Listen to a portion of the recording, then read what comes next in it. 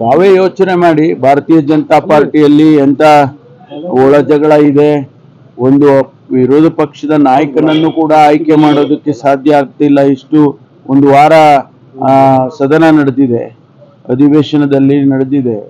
ಇವತ್ತು ವಿರೋಧ ಪಕ್ಷದ ನಾಯಕರುಗಳಿಲ್ಲದೆ ಅವರು ನಡೆಸ್ತಾ ಇದ್ದಾರೆ ಅಂತಂದ್ರೆ ಯಾವ ರೀತಿ ಆಂತರಿಕವಾದ ಒಳಜಗಳಗಳು ಅವರಿಗೆ ಇದೆ ಅನ್ನೋದನ್ನ ಇದು ತೋರಿಸುತ್ತೆ.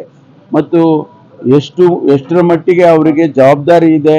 ಈ ರಾಜ್ಯದಲ್ಲಿ ಒಂದು ವಿರೋಧ ಪಕ್ಷದ ಅಧಿಕೃತವಾದಂತ ವಿರೋಧ ಪಕ್ಷ ಆಗಿ ಅವರು ನಾಯಕನನ್ನ ಆಯ್ಕೆ ಮಾಡ್ಕೊಳಕ್ಕಾಗ್ಲಿಲ್ಲ ಅಂತಂದ್ರೆ ಎಷ್ಟು ಜವಾಬ್ದಾರಿ ಇದೆ ಅನ್ನೋದನ್ನ ರಾಜ್ಯದ ಜನ ಗಮನಿಸ್ತಾರೆ. ಅದೆಲ್ಲ ಮುಗೀತಲ್ರಿ. ಇನ್ನು ಮತ್ತೆ ಎಂತ ಇನ್ಯಾವ ಡ್ರೈವ್ ಬೇರೆ ಯಾವ ಡ್ರೈವ್ ಇಲ್ಲ.